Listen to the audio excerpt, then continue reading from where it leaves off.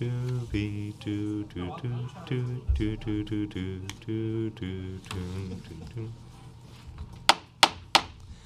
Good afternoon and welcome to the Subcommittee on Planning, Dispositions, and Concessions. I'm Councilmember Ben Kallos, the chair of this subcommittee. You can tweet me at Ben Kallos. Uh, we are joined here by uh, Councilmember Ruben Diaz Sr.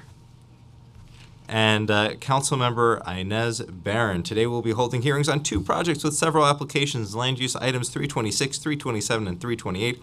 461 Alabama Avenue and three, land use item 329 East Village Housing ANCP. If you're here to testify, please fill out a uh, white speaker slip with the sergeant at arms and indicate the land use number of the item you used to testify on that slip. Our first hearing today is for land use items 326, 327, 328, 461 Alabama Avenue in Councilmember Barron's district in Brooklyn. The applications fil- filed by HPD will facilitate the development of a proposed seven-story mixed-use affordable and supportive housing development containing approximately 70 dwelling units and community facility space. 60% of the apartments will be for supportive housing for formerly homeless, and remaining 40% will be affordable to those earning at or below 60% of AMI. I want to compliment my colleague on these numbers. I have not seen numbers like these in many other projects, and uh, she, my, my colleague is an outspoken advocate for affordable housing, uh, often asking affordable for whom and ensuring that it is actually helping communities versus gentrifying them. So I, I, I am impressed by her being such a strong advocate for community and delivering and acting on her word. The building's design will incorporate sustainable features to conserve energy, reduce environmental impacts, and promote the health of residents. The first application is for a special permit pursuant to Section 74-903 of the zoning resolution to modify the requirements of Section 24-111 to allow community facility bulk regulations to apply to a nonprofit institution with sleeping accommodations. HPD also seeks approval from an urban development action area designation project approval and disposition approval for block 3803 lot 6 and an amendment to the East New York 1 urban renewal plan. I will now open a public hearing on land use items 326, 327, 328, 461 Alabama Avenue. First, I'd like to invite Councilmember Barron to provide some remarks. Councilmember Barron. Uh, Thank you, Mr. Chair, and thank you to the panel. This is a project in my district, and each time that developers come with projects, I'm always mindful of the fact that the median income in my community is about $34, $35, $36,000, which is about half of what is the AMI for New York City. So, as developers come with their first initial offerings, it sometimes is not reflective of what it is that exists in my community at present. It's my belief that as the incomes that are required for housing developments coming into a community do not match what already exists, that you're encouraging either calling it gentrification or calling it ethnic cleansing, or I've seen a new phrase now from the federals, which is called poverty deconcentration. All of that to means that you're displacing people who presently live there, poor people and predominantly black and Latino people. So I'm always very concerned about maintaining the opportunity for people who presently live in the community to be able to now enjoy the um, benefits and and the amenities that are coming in in new facilities. So this is a building that's a little taller than what I would normally uh, be comfortable with, but it is a building that does provide units for uh, the supportive housing population. And as has been said, there will be units set aside designated at 40% of the AMI, 50% of the AMI, and 60% of the AMI. And the additional height on this building beyond what I initially wanted to have was so that we could incorporate some one and two bedroom units. They wanted all studios, and I did not feel that uh, that kind of composition encourages family and building community. So they did make some accommodations, so we were able to settle on what we presently have. And I look forward to the project being um, approved and moving forward. Thank you, Mr. Chair. Thank you. I'll now ask the committee counsel to uh, swear in the uh, large panel. Um, before, please say your name before answering the following question. Do you affirm to tell the truth, the whole truth, and nothing but the truth in your testimony before this subcommittee and in response to all council member questions? Lacey Tauber, HPD, yes. Arlo Chase, Services for the Underserved, yes. Margarita Pajaro, sorry. Margarita Pajaro, CB Emmanuel, yes. Brian Newman, Newman Design, yes. Teresa Casano, HPD, yes.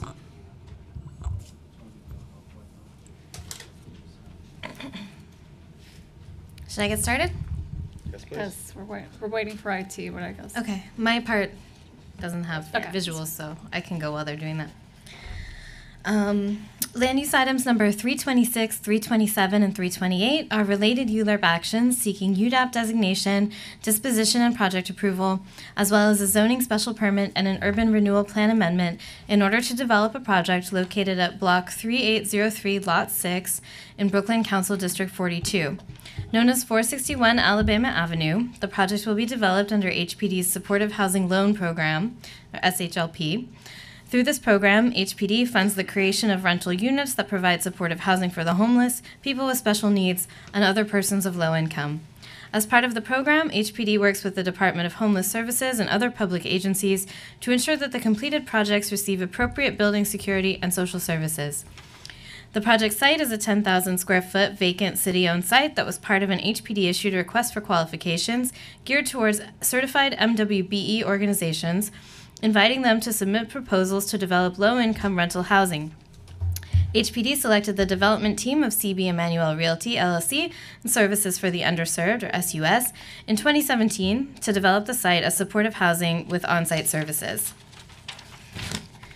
Before ULURP certification, the sponsor met with uh, Councilmember Barron in her office three times in 2017 and most recently in October 2018.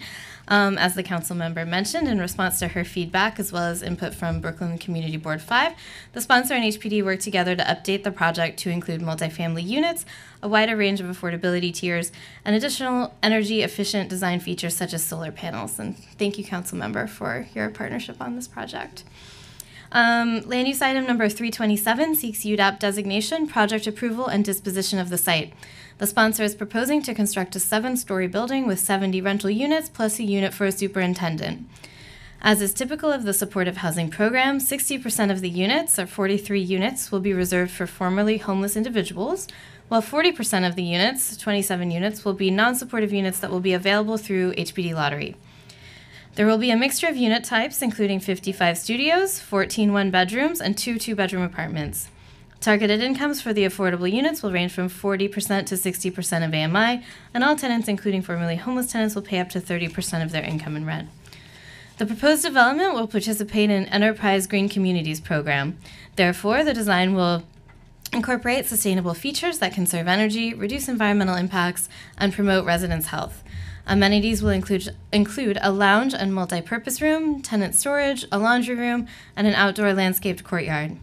The estimated total development cost is $28,132,000, which is subject to change. The permanent funding sources include HDC long term bonds and HDC second mortgage, together an estimated 29% of TDC. Tax credit equity, estimated 42% of TDC. Accrued and deferred construction interest, a deferred develop, developer fee, and an HPD SHLP loan. The city subsidies are approximately $6,185,000 or 22% of TDC. The project has 43 NYC 1515 rental assistance vouchers to support rents for the supportive units. It will receive an as of right tax exemption under 420C. Please note that this building, er, this, sorry, that this budget is preliminary and subject to change as the project moves closer to closing. The on-site social services will be provided by Services for the Underserved (SUS) to include recovery-oriented case management for residents, daily life skills training, employment services, social, recreational, and cultural activities, substance abuse services, and 24/7 front desk security. The following actions are necessary for development of the project. Um, land use number 326 seeks a special permit of the zoning resolution in order to modify the maximum floor area ratio for certain community facility uses. The modification will apply to a nonprofit institution with sleeping accommodations in order to enable construction of the proposed development. Um, land use number 327, as mentioned above, seeks UDAP designation, project approval, and disposition of the site. Land use number 328 seeks approval of the, of the fourth amended East New York 1 urban renewal plan, um, which will change the land use designation of 461 Alabama Avenue from open space to residential use. HPD is before the council's planning subcommittee seeking approval of land use numbers 326, 327, and 328 in order to move forward with the next steps in the development process for the 461 Alabama Avenue supportive housing project. And the development team is here and they have a presentation they'd like to go through now. Thanks, Lacey. Um, My name is Margarita Pa- uh. I'm Vice President of Development for CB Emmanuel Realty, the co-developer on this deal. Um, Lacey already mentioned the land use actions, a UDAP designation, project approval and disposition, special permit, urban renewal plan amendment. Um, So I won't reiterate that, but uh, go into who CB Emmanuel is. We are a 14-year um, old development company, minority certified through the state and um, SBS. Uh, We've developed over 2,300 units uh, with a total of $400 million um, development costs. Uh, We were awarded this um, project through an HPD initiative for minority developers, and we co-own um, a large project on the same block um, that straddles Georgia Avenue and Alabama Avenue. So, as you can see, the project site um, is surrounded by multiple, various uses, including um, the Success Garden across the street, um, an educational facility across the street diagonally, and um, I don't have a pointer, but it's it's the the block surrounded by the red lines right in the center of the of the circle. Also, mid-rise uh, residential. Um, Oh, behind me as well, contiguous to, to, to the, um, to the lot. The lot is a ten thousand square foot lot between Dumont and Livonia. It has subway access, um, on Pennsylvania, um, on the three, and Livonia Avenue on the L. As I mentioned, they're, they're buildings, um, residential buildings of uh, comparable height within a one-block radius. The Success Garden is across the street. We have Lions Pride Playground, um, I think less than a quarter mile away, as well as Martin Luther King Junior Playground um, in the immediate vicinity.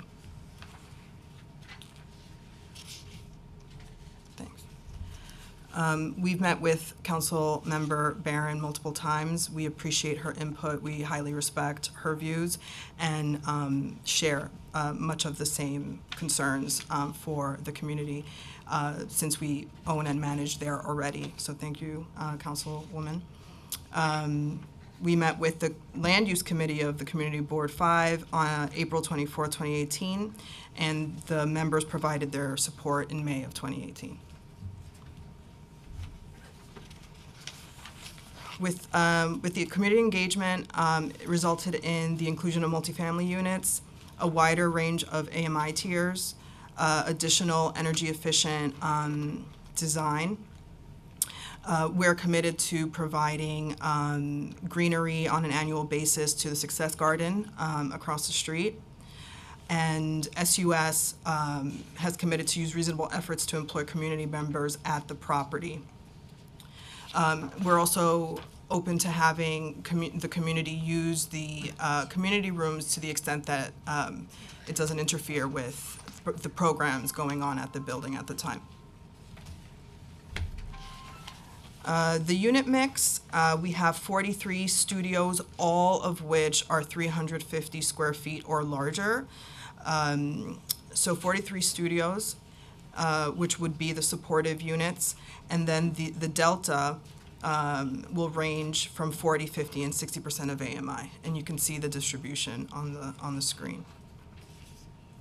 And with that, I'll, I'll give the mic over to Arlo Chase of SUS, who will um, explain the services and, and their organization.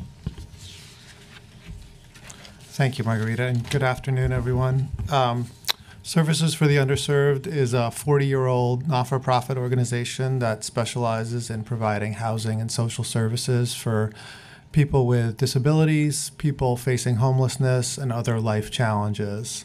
We have a pretty large portfolio of programs throughout the city with a concentration in Central and East Brooklyn, East Harlem, and the West Bronx.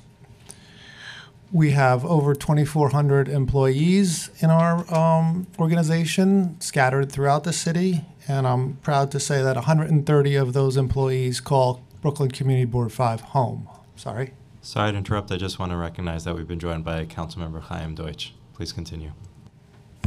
Thank you.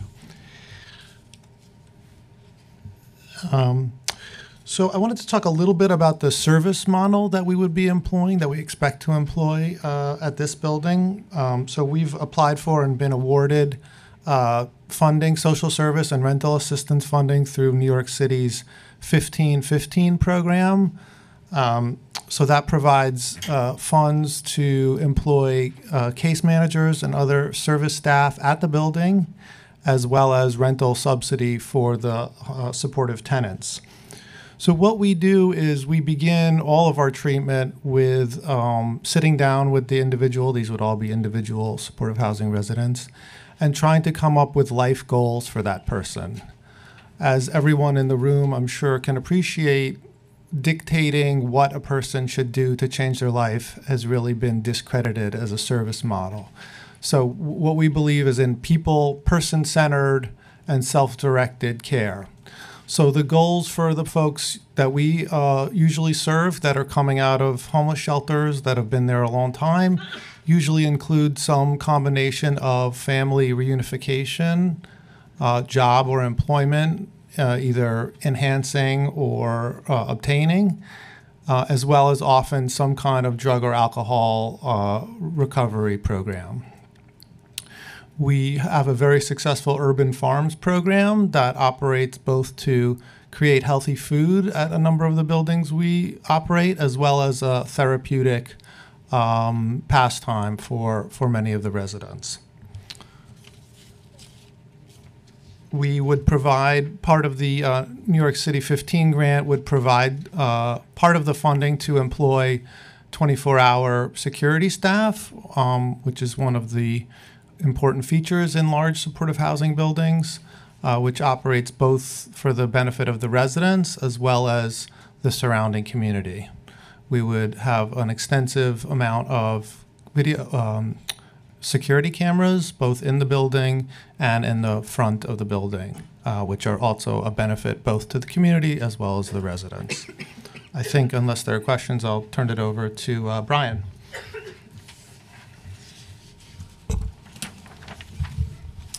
Thank you. Um, As you can see behind me, we have a a rendering of the front facade on Alabama. What we tried to do here uh, was help break up the massing of the building. Uh, As we've stated before, it's a seven-story building. You can see floors six and seven are actually stepped back approximately 20 feet from the front facade. In addition to that, we took the two stair towers and we did not bring them all the way out to the front. So each one of those stair towers is approximately 18 to 20 feet stepped back on, on either side of the building. The whole building itself is additionally pushed back from the street line or sidewalk approximately three feet.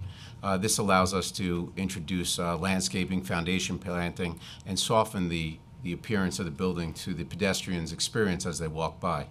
Um, In addition to uh, enhance the pedestrian experience, we like to break up the facade on the ground floor. You can see some precast uh, piers that are, that are breaking up that massing, and we have lighting there as well for security um, on, as the pedestrians walk by that front, that front facade.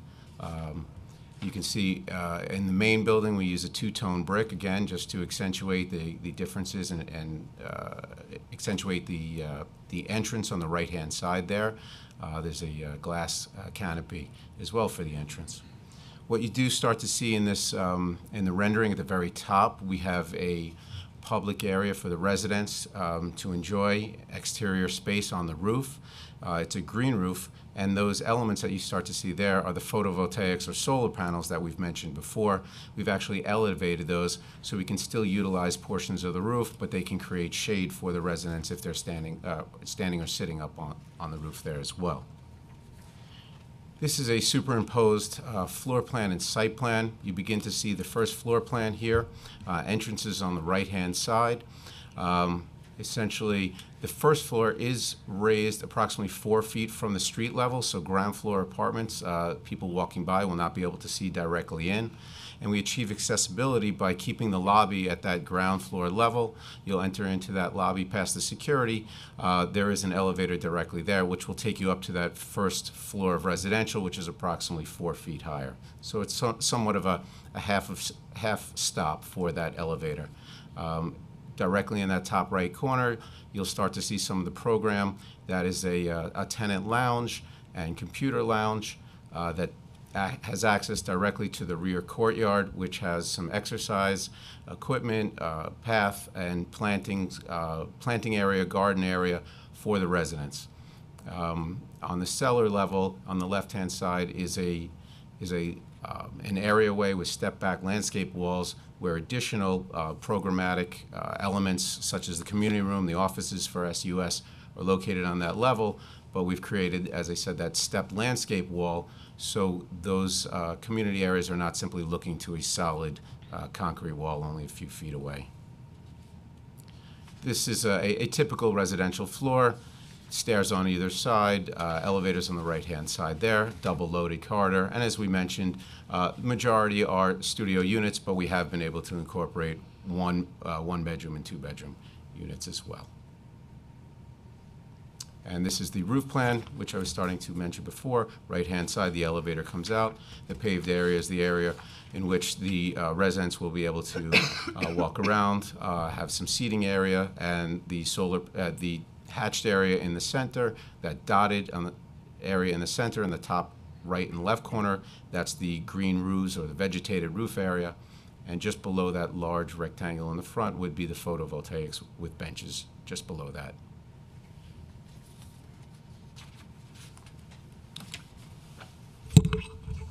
Thanks, Brian. Um, So where we are on the timeline, uh, we, um, we certified for ULURP August 20th. Uh, We, um, the Community Board 5 issued recommendation to approve on October 17th.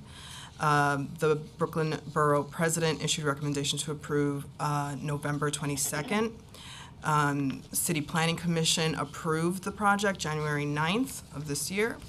Um, And we are now in city council review. Um, We anticipate closing um, financing and for construction December of this year, uh, with a construction completion of December 2021. Thank you. Thank you. This was one of the more complete uh, testimonies. I really appreciate that. It saves me a lot of the uh, questions. Who is the contractor you'll be using on this? We haven't gone out to bid yet.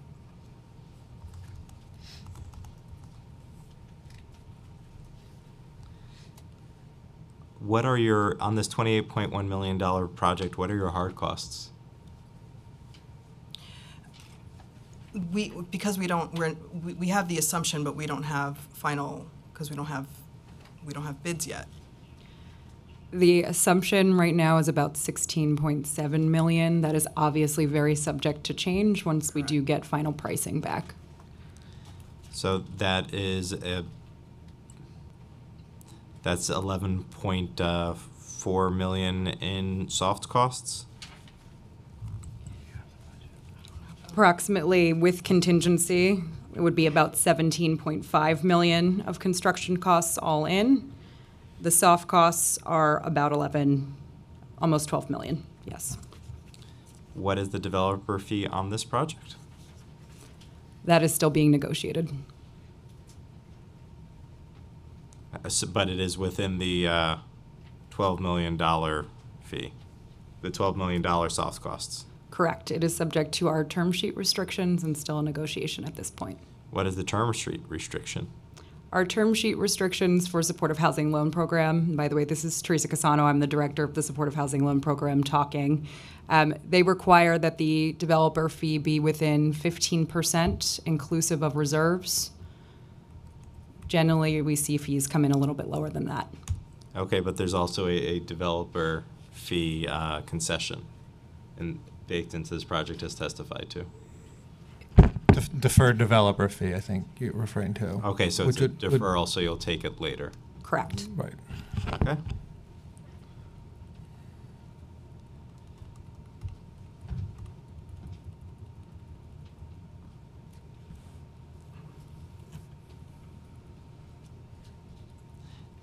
As you mentioned, it is a 60-year tax abatement. Do you happen to know what the value of that tax abatement is? Um, because this is an as of right uh, under this project, we don't calculate the value of the tax exemption the same way we do with Article 11s when those are the council, um, when those are subject to council approval. I still believe that the council, at the city is giving up income, so it is still important to be aware of the tax income that we will be losing. Uh, What do you anticipate the uh, value of the low-income housing tax credit to be? It's twenty-two percent. Twenty-two percent of the sorry, the total subsidies are twenty-two percent. How much do you anticipate to get from the low-income housing tax credits? So the low-income housing tax credits are financing about 42% of the overall TDC at PERM, and so that equity is bringing in the lion's share of the funding on this project. And any federal or state funding? Beyond the low-income housing tax credits, no, we are not expecting any federal or state funding at this point. And was this, this area is being rezoned? No, there's, there's no rezoning. Okay. Um, one of the actions is a zoning special permit um, that modifies the FAR for community facility uses. Um, this is a nonprofit with sleeping accommodations, which is um, sometimes typical of our uh, supportive housing program. Um, However, the zoning itself does not change. It is simply a special permit. So what would be allowed to be built here versus what is currently being built here? What, what is, what is the status quo versus the change that you've made? Or that you're proposing? I, I don't have the as of right or, or smaller FAR in front of me, but what I could point out is where I, which might have been a 4.0, I, I believe, off the top of my head. We're only going for a 4.02 compared to the 4.8, which would actually be the total allowable buildable under the community facility i- if we were to completely max out that community facility Is it regulation. too late to add a, so I, I understand my colleague is concerned about the height and that this is taller. Um, So I, I imagine is not something they would be interested in, but, uh, if they had the, the additional point eight FAR, what would that, would that allow any additional units that, uh, or just, this is where you are based on the height that you're trying to fit into? We- We've essentially maxed out the envelope height and com- uh, f- discussing with a number of, of parties. Okay. Uh, My understanding is this was a bid that was won as a program for MWB, so I, pl- please uh, confirm my assumption that uh, you you are an MWBE? Yes, uh, CB Emmanuel, which is the lead developer, we are state, New York State and SBS certified minority developer. And the architect, the engineers, the uh, folks doing the the general contractor will also be MWBEs? The architect is not. Um, we we take very seriously the minority and women and veteran set aside. On our deals, we've historically exceeded those carve outs um, on on our deals. So the the understanding will be that, um, or the expectation will be that the GC um, uh, hire from the community um, and, and meet uh, the minimum set So aside. you're not currently planning for a GC that's gonna be an MWBE, so you'll be the only MWBE on the project, except for like the target that We, you have. we haven't finalized our, our GC list yet. Uh, We don't have many MWBE general contractors. We know a lot of subcontractors. Do you think that if companies such as yours were steering business to M- other MWBEs, that there might be more? Sure. Okay. Uh, along those lines, uh, do do you have health insurance, disability insurance, and a, an ability to retire? Uh, sorry? retire. Do you, do you through CB Emmanuel? Mm-hmm. Do you have health insurance, Yes, disability insurance, yes, and uh, do you have a retirement vehicle, whether it's a four hundred one k or? Yep. Is that going to be offered to everyone on the construction project from top to bottom? I can't speak to the general contractor and their subs and what they offer their laborers. Um, I know that a livable wage will be um, offered, but I can't speak to health. Um, Do you think that they Uh, should? it- uh, We can talk about Okay. the supportive housing in a second, but do you think that the folks who are doing the work on the construction site should have of course. access to the same health? Will you mandate that your GC and the sub subcontractors that you work with, and who are hopefully going to be MWBEs, offer their workers health insurance, disability insurance, and a retirement option? I can't, I can't speak on behalf of a general contractor we haven't chosen yet. But you, you could say that is choosing that these are important values to you, you have it, right? And, and you want it for your other employees at your company. Of course. Would you be willing to include in your uh, RFP that you would like your people working on the site to have the same coverage as you?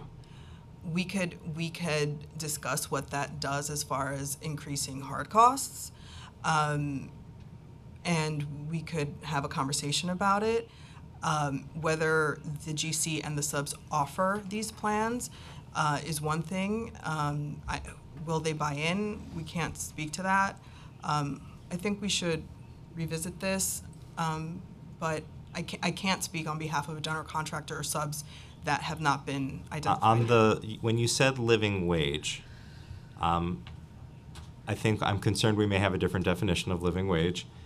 Do you define living wage as the state's minimum wage of fifteen dollars an hour? Well, that's the start, but general, I mean, general contractors pay above that per hour. Okay, so will there be anyone on this construction site earning minimum wage, or are you setting a different threshold of what you believe the living wage is? I I think just generally speaking quickly, and this is Teresa Casano again from the Supportive Housing Loan Program, the plan on this project is to wait until the construction documents are developed enough and then go out to a pool of bidders. And so it's hard to have these conversations when we don't even have that pool of bidders identified yet. Um, and so, you know, while we hear your points, this is very preliminary and it's hard to actually negotiate terms and costs when we don't have the bidders identified nor the documents ready for them to price. So I, g- I g- my concern is just if you pay people minimum wage, then they're making twenty-seven thousand three hundred dollars a year, and at that rate, they would be making half the AMI of your project, which would mean they were making the affordable housing crisis much worse. If you paid people twenty-five dollars an hour, they would qualify for the affordable housing you are building. And so if you paid the construction workers the wage rate that other construction workers make across the region, uh, then they wouldn't need the affordable housing. So my concern is just in constructing, you could make the affordable housing crisis worse. The standards, the standard of pay in the construction industry Mm-hmm.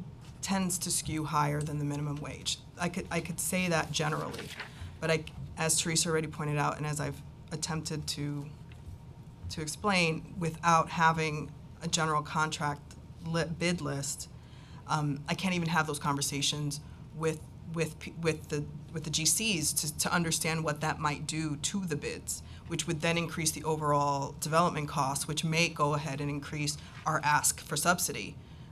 I, I'm comfortable providing more subsidy if, if the uh, mayor, mayor is, one of the things I've heard him say again and again is the best thing we can do to fight the affordable housing crisis is raise wages. Uh, for SUS, same, same questions? All of our employees are entitled to health insurance as well as disability insurance. And those operating the building will have it. That is correct. And will they have retirement accounts? There is, there is an option for a 403B. Currently, we do not have a match. Okay, I, I would encourage you to do the match. Uh, and similarly, um, do, do you have a wage rate that is tied to others in the community doing similar work?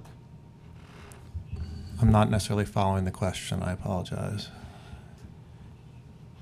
Uh, if you have somebody who's doing social work with uh, your your clients, um, some social workers are part of an agreement where their compensation is tied to other social workers at other sites throughout the city. Uh, and so the question is whether or not your social workers have a salary that is tied to a citywide or to other sites, or if they are just set at whatever rate you want. We have uh, a range of salaries that are set for our organization. I do not believe they're tied to uh, other organizations, as you suggest. Um, but uh, Okay. I, I can tell you the, the, the lowest wage for the people we'd expect to employ would be $40,000 a year annually. That is that is what I was looking to hear. That is good. Uh, I think they would still end up qualifying for this affordable housing, uh, but it is it is much im- better improvement. Uh, and then I think the the favorite piece I like to ask folks is uh, for the developer, uh, you have a local hire requirement. If somebody is watching this and they're council member Barron's district and they have would like a job building this building, uh, who can they call to get that job? What number do they dial if they're watching right now at home? Well, I don't have a phone number for them, but we will be coordinating with the community board once we have chosen the general contractor, and we will, we're, we're open to having a, um, a, uh, employment fair specific to this deal. And we've already said that to, to Councilman, Councilwoman Barron, so I will now turn it to my colleague for a comment. Thank you, Mr. Chair. My office number is 718 649 9495. 718 649 9495. And I just want to say that uh, there was some very um, productive negotiations that we engaged in. I think the team understood what uh, what I thought would be best for our community, and they were willing to work to make sure that the final project achieved that. Um, the fi- the height the, the fact that it's a little higher was very pleasing to my chief of staff because she's always saying well, people need housing, and also the incorporation of the uh, green features. We have the solar panels. So generally, I'm very pleased with it. Going forward, we want to make sure that we bring to reality all that we say we're going to do and meet all the goals that we've set. Thank you. Thank you, Mr. Chair. Again, want to compliment Councilmember Barron. This is a very good project. It appears that the folks working in the building will be doing well. Uh, sounds like you're going to have a fun job fair. Everyone now has your number to call and uh, make sure that they can get jobs on this site. Uh, do we have any further uh, members of the public who wish to testify? Seeing none, I will now close the public hearing on land use items 326, 327, and 328, and the application will be laid over. Our second hearing today is for land use item 329, East Village Housing ANCP in Councilmember Rivera's district in Manhattan. This application will facilitate the development of two new buildings containing approximately 21 units of affordable housing and commercial space. Out of the 21 units, 10 will become affordable cooperative units, 11 will be affordable rental units. HPD seeks approval for an urban development action area designation project approval and disposition approval for block 406, lots 6 and 47, located at 204 Avenue A and 535 East 12th Street. These sites are being developed under HPD's Affordable Neighborhood Cooperative Program. I'd like to now, uh, before we open the next public hearing, I'll turn back to Councilmember Barron. I was remiss. I've got to give Brian Paul great thanks and acknowledgement for the great work that he always does and continues to do. Thank you, Brian. Thank you.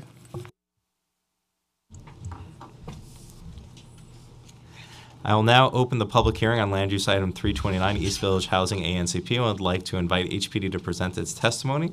I will ask those on the panel to please state your names and then the uh, council will uh, administer the oath. Just before I swear you guys in, I feel like some of you have not filled out uh, slips, so if you can just do it afterwards, that would be great. Um, But um, for the oath, um, would you please state your name before answering? Do you affirm to tell the truth, the whole truth, and nothing but the truth in your testimony before this committee and in all council members' questions? Christine Retzloff O'Connell, HPD, I do. Genevieve Michael, HPD, I do. Uh, Juan Barahona, SMJ Development, I do. Kevin Paris, HPD. I do. You may begin. Uh, and I have copies here if you. Yes, please. Uh, land use number two, uh, land use number 329 is related to the proposed ULURP action for a project known as East Village Housing. This ULURP action seeks urban development action area designation, disposition, and project approval for a development site cons- consisting of two city-owned buildings located at 204 Avenue A, Block 406, Lot 6, and 535 East 12th Street, Block 406, Lot 47, in Manhattan Council District 2, that will be redeveloped under HPD's Affordable Neighborhood Cooperative Program, ANCP. As part of the ANCP program guidelines, city owned multiple dwellings are conveyed to Restoring Communities HDFC for $1 per tax lot and then rehabilitated by private developers selected through a competitive process to create affordable cooperatives for low and moderate income households. The developer will sign a site development and management agreement with Restoring Communities that will be in, in effect until co-op conversion occurs and title transfers from Restoring Communities HDFC to a newly formed cooperative HDFC. From the time of the cooperative conversion, the developer, developer will remain the property manager for at least one year. After the first year, the co-op will have the choice of keeping the developer as property manager or hiring a new company approved by HPD. The two buildings under land use number 329 are multiple dwellings taken into city ownership in the late 1970s. In the early 2000s, the building entered into the tenant interim lease program, TIL, which required the tenants to form tenant associations to self manage their buildings and collect rents under a net lease agreement with HPD. Both buildings were vacated due to structural integrity issues, so they are currently empty. Generally, buildings in ANCP undergo substantial rehabilitation. However, in this case, the building will be demolished, and in their place, the developer, SMJ Development, will construct two new buildings, thus requiring ULURP. As a result of working with the occupants and council, HPD and the developer agreed that 204 Avenue A will become a fully cooperative building and the prior occupants will return. 535 East 12th Street will remain a rental under the ownership of the developer. The cooperative building at 204 Avenue A will be a seven story building with eight one bedroom and two bedrooms and one commercial space. The cooperative interest attributable to occupied apartments will be sold to existing tenants for $2,500 per apartment. Anticipated income targets for this building will be no less than 80% of AMI uh, for a one bedroom, and the initial maintenance for existing tenants share and shareholders will be at 40% of AMI. Therefore, maintenance for a one bedroom apartment will be $786 and $958 for a two bedroom apartment. Uh, plans for the commercial unit have yet, yet to be determined. Uh, the rental building at 535 East 12th Street will be a six story building with one studio and 10 one bedroom apartments with no supers unit. Uh, anticipated income targets will be up to 40% of AMI for a one bedroom. Uh, it's $109,620 per year with initial rents at uh, 130% of AMI, which is approximately $2,301 for a studio, and $2,469 for a one bedroom. Uh, both buildings will be fully accessible. Uh, the estimated total development cost for the new construction is uh, $14,226,128, which is subject to change. Uh, funding sources include $10,819,557 in city subsidies, which represents about 76% of the total development costs. Um, Land use number 329 also seeks approval of Article 11 tax benefits for 204 Avenue A and 535 East 12th Street for 40 years that will coincide with the term of the regulatory agreement. The cumulative values totals approximately $6,369,526, and the net present value is $1,779,462. Uh, HPD is excited to move the project forward after extensive collaboration with both former Councilmember Mendez and uh, current Councilmember Rivera. Uh, as with many N- ANCP projects, uh, the financial crisis in 2008 and problems with lending for home ownership as a result stalled this project, and we're glad to be on track without further delays. Uh, in order to facilitate the construction of East Village Housing, Pro- Housing ANCP project, HPD is before the council seeking approval of land use number 329.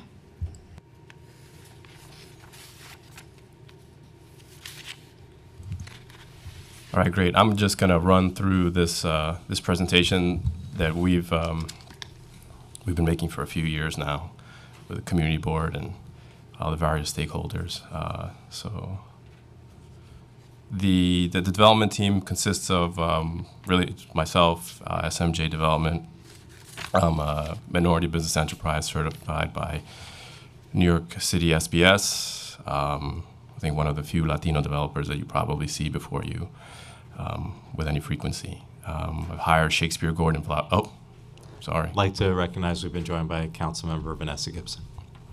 Please continue. Sure. Uh, retained Shakespeare Gordon Vlado Architects, a uh, WBE that's certified by SBS and uh, New York New York State as well. And like we said, we're using Restoring Communities to act as the HDFC. Um, these are the actions. Uh, it's a very straightforward ULURP, uh, DISPO, and UDAP designation. Um, as was previously, previously stated, uh, these you know these projects have been around for a while. Uh, HPD has had them since the 70s, um, and I guess unfortunately they were vacated, and so the tenants have been quote unquote temporarily temporarily relocated since 2008.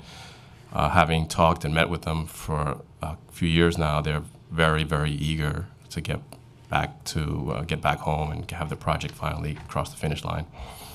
Uh, from a zoning perspective, you've got Avenue A with an R7A designation with an on-site inclusionary option, and East 12th um, Street is an R8B, um, which are both, you know, uh, zoning zoning that, zoning that was put in place in 2009 with the East Village Lower East Side rezoning. As you can see, these are these are photos of the properties on Avenue A. It's a four-story building that's been vacant, um, and the five-story building on uh, on 12th Street. Um, on Avenue A, we're, we're able to get a, a little a little slightly taller. Uh, we have seven stories with 10 apartments, over about a thousand square feet of commercial. The 10 cooperative units. Uh, there's two two bedrooms and one sorry two two two bedrooms and eight one bedrooms. The ground floor commercial uh, space, about approximately a thousand square feet, will retain will uh, remain with the co-op, and they'll have their open space on the on the uh, roof level. On 12th Street, it's a six-story building with 11 apartments and no commercial area, and it's only six stories. Um, and uh, you know, Avenue A will be a cooperative, and you know, Christine, and my colleague here, are going to speak to to the ANCP restrictions and, and the purpose of the program, um, and then the maintenance levels, and then the 12th Street will be a middle-income rental, um, which will be subject to the, hou- the Housing Connect program. And here's our your typical layouts. They're 25 footers, so there's nothing really special uh, in terms of design here from a layout perspective. Um, and I think that's it.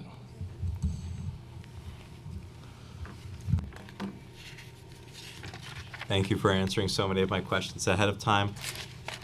I appreciate your flagging the fact that this has taken 10 years. Where have the residents been in the interim? And can you get into a little bit of the details? I guess HPD shouldn't be, I guess, how does the financial crisis, how did the financial crisis stop HPD from moving this forward? It's, I, I don't believe we stopped doing affordable housing. Fin- so if I can get a little bit more details on A, where were the, ten- where are the tenants currently? Mm-hmm. When will they get to move into these new apartments? And then why did it take n- 11 years and with construction, I imagine, and how long is construction going to take? Two years. So it's going to 13 years of diaspora. So the 10 residential families have been out uh, since 2008 due to structural instability. Um, They are relocated into other TIL properties, so other city-owned properties in the Lower East Side. Um, The tenants have been very participatory in this process.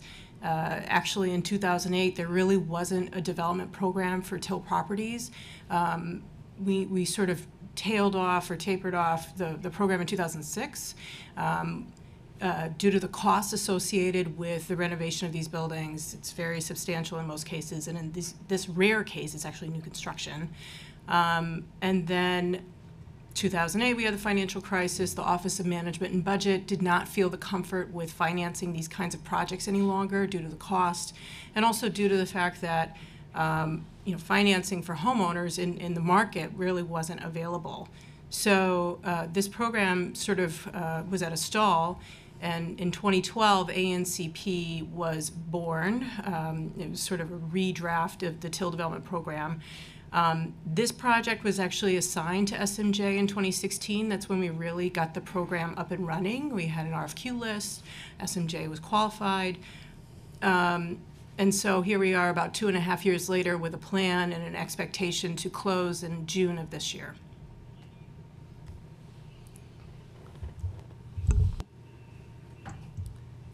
I'd like to thank you for uh, sharing the MWB status on all of this. In terms of the uh, cooperative tenants, um, why are they in one building versus the original buildings they came from? So the, the buildings had five and five families, so five in each building. Um, through conversations with former council member Rosie Mendez um, and her team, uh, the residents expressed some concern about moving uh, back into their buildings and, and feeling like they may be half of the new occupancy. So feeling like they may, may be a minority in their own building. Um, and so, with the support of the council member, they actually wrote to HPD requesting that they they all move together into 204 Avenue A, um, which is the building with the commercial space. So they have that added benefit to to help finance their operational costs, um, which left 12th Street vacant. Um, it's it's a little more difficult. It's a little more costly to create new co-ops. So we decided that 12th Street would would be that uh, rental. Um, and really, what we have here, just to touch on the financing, because this is a pretty expensive project, it's more expensive than we typically see in ANCP. Um, what we have here is a rental building that's really financing uh, the cost and the affordability of the co-op building. Um, so uh, both building, uh, 12th Street will go through Housing Connect as one mentioned, so it will be a lottery process. Um, but essentially, what, what we have here are, is one building subsidizing the other. Uh, what are the hard costs on the project? So the hard costs are $9.5 million, which is approximately 67% of the budget. And what are the soft costs? The soft costs are 4.6 million, which is about 33% of the budget. And what is the developer fee? Developer fee here is 864K. It's in line with the ANCP term sheet. Um, We, we negotiate the fee, but it's up to 10% of total development cost. Is there developer concession or deferral? Can you elaborate? Is the developer taking their full ten percent or what have you, or is it, um, in the previous project, the developer had a deferral? We are deferring half of the fee at construction loan closing um, in anticipation of the permanent loan conversion when the full fee will be dispersed. The location, it is very hard to find affordable office, uh, not office space, commercial space, uh, especially in this neighborhood. Uh, will there be any restrictions on the rent so that a mom and pop can afford to use it, or is it gonna be like ten thousand dollars if somebody, ten thousand a month to somebody to rent that space? Um, Our market analysis shows that we could obtain about $75 a square foot for this particular location. Um, But what we actually uh, include in our budget is no more than a quarter of the total commercial space. Uh, The total of, total revenue should come from commercial revenue. So we are restricting it in the budget, so we do have some leeway um, in where we actually set the rent. Okay, so you will hopefully set it so that we, we don't need another Starbucks in that part of the city? Or a bank? Uh, okay. Um, You answered a lot of the questions. Uh, I think the remaining questions are, are the standard questions relating to, uh, uh, the, the construction work, whether the folks doing the construction work and operating the building will have health insurance, whether they have disability insurance, and if they'll have a, a vehicle to retire. Um, so, I mean, I've got a tentative agreement with a general contractor right now. Um, I've, you know, been talking to a few people, and nobody really kind of the, the the site. It, it- it's not a big construction project, so it doesn't really. It's not demanding a, a, a lot of interest, um, and so. Uh, we haven't really talked about, about wage rates and benefits for, for employees. Um, but I imagine, you know, that could be part of the conversation. You know, it's important to me. I mean, I think it, it, it, it makes sense. Um, but just, you know, be very realistic with you. It's going to, you know, like Christine said, it's already a very expensive project in terms, just in terms of the constructability. Um, and so, you know, the, the retirement benefits is probably going to be a stretch. I mean, I, I could see how health benefits may be part of the equation for the contractor, but I just don't know if, you know, retirement benefits are necessarily something that could make it into something this scale. Do you, do you have access to a 401k or 403b or other retirement vehicle? I don't. I don't. So I'm an independent uh, Wow. LLC. So I uh, I have an, an IRA that I fund for the for myself. Okay. Um, I don't, you know, but I, I hear what you're saying. Sure, and to HPD, uh, it sounds like we've got a developer who's interested in paying people uh, higher wages so that the people working on the project won't make the affordable housing crisis worse. Are you able to add additional subsidies so that we're paying people the rates they need so that they don't need to come back to HPD for more affordable housing? We're not.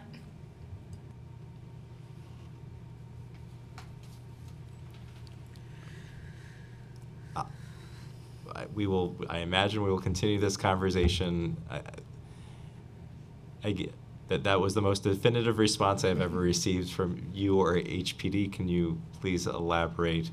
Yeah, I mean, I think certainly on this project, as we've mentioned, it's already, you know, above what we target for term sheets on these projects. Um, certainly isn't any more room in the budget on this one. How, how can we get to a place where HPD is considering whether or not those working on the project will they themselves need affordable housing and whether or not we're I, I guess the, the, the larger question so we, we do we agree that there is a, an affordable housing crisis? We do. and do we agree that if we pay people more they will not need as much of that affordable housing? I- that that is one of the key elements. We can build more and we can also that, that one solution is building more affordable housing another solution is paying people more I think it is all part of an equation. I think, you know, it's unfortunately not going to be just about paying people more if you don't actually have safe and quality housing for people to live in.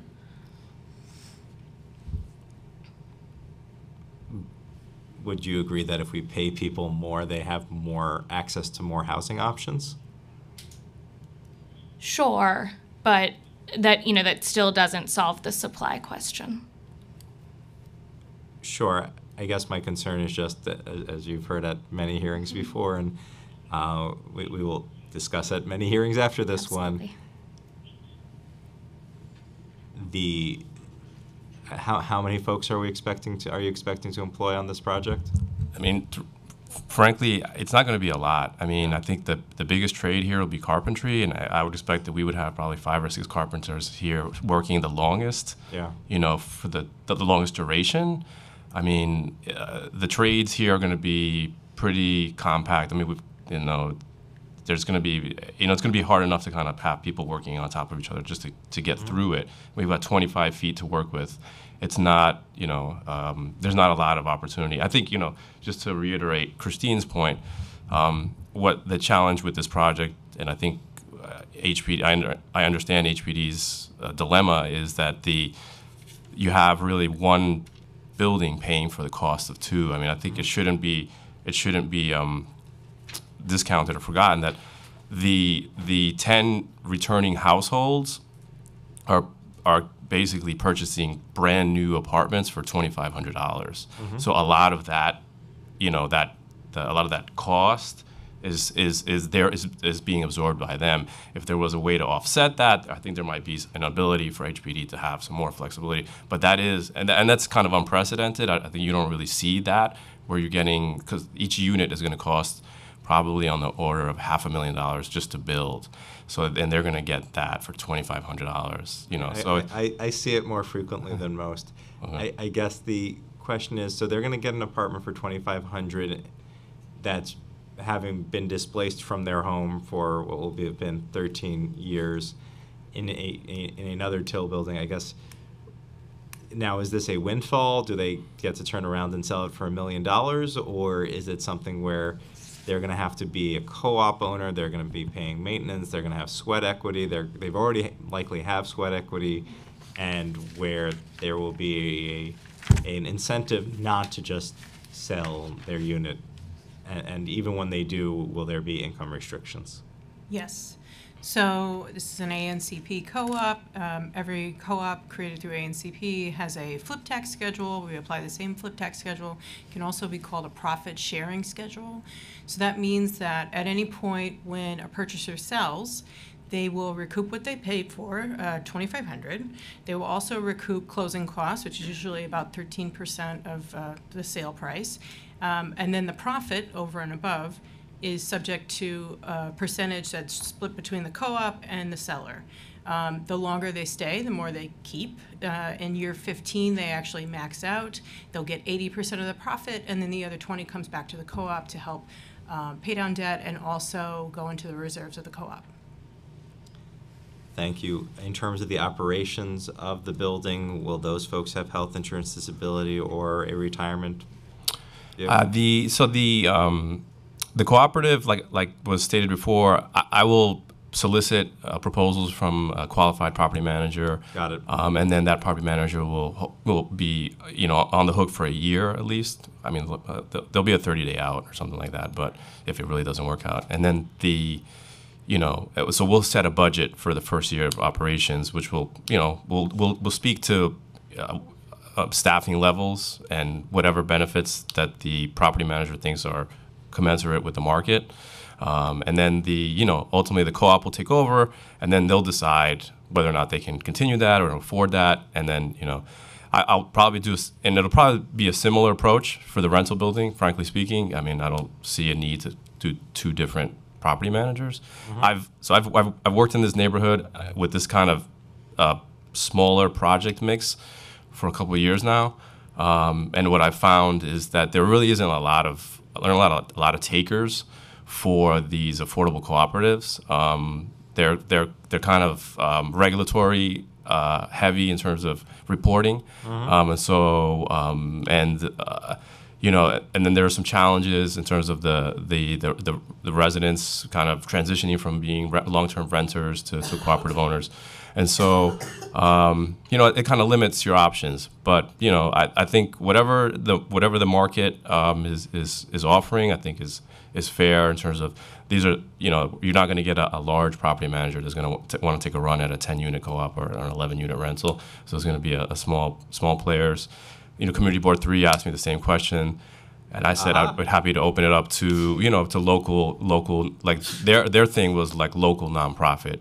like local nonprofit property managers, and I and I and I was very frankly I was very frank with them. I did a, a similar cooperative conversion rehab project a few years ago, and I opened it up to uh, nonprofit manager bidders, but they didn't ultimately didn't bid on it on it. So. Um, you know, I'll, I'm more than happy to, to offer the opportunities to folks, and if they, you know, if, if they, what they Speaking want. of local opportunities, you may have heard my favorite question that I get to ask. Does your project have a local hire requirement? Um, oh, uh, we, I'll be subject to N- NYC.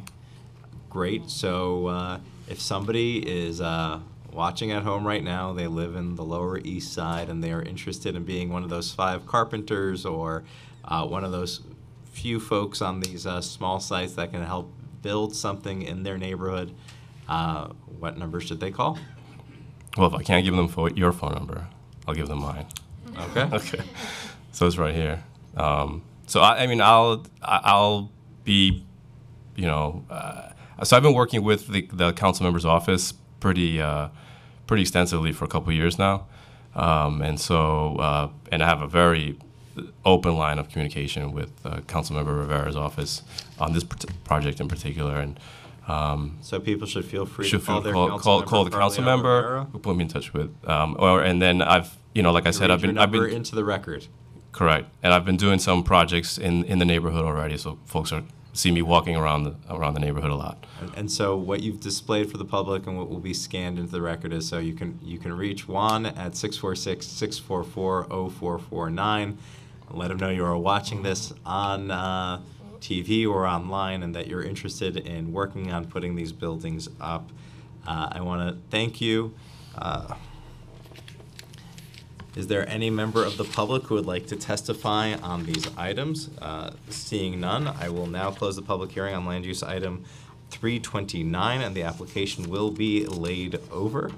This concludes today's hearing. I would like to thank the council and land use staff for preparing today's hearing, and the members of the public and my colleagues for attending. This meeting is hereby adjourned.